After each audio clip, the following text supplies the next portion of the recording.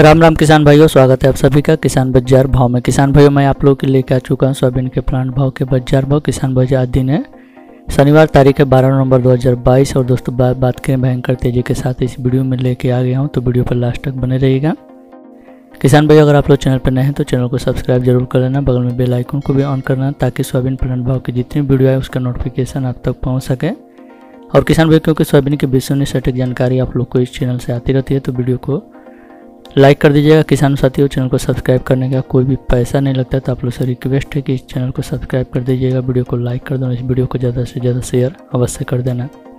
तो चलिए, आज का इस वीडियो को शुरू करते हैं और चलते हैं, जानते हैं प्लांटों के भाव, क्या भाव देखने को मिले। सबसे पहले बात करें इटारसी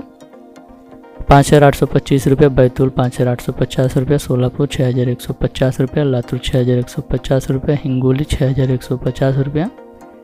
अंबिका पाँच हज़ार छः सौ पचहत्तर रुपया देवास पाँच हज़ार छः सौ पचास रुपया अकोला पाँच हज़ार छः सौ पचास रुपया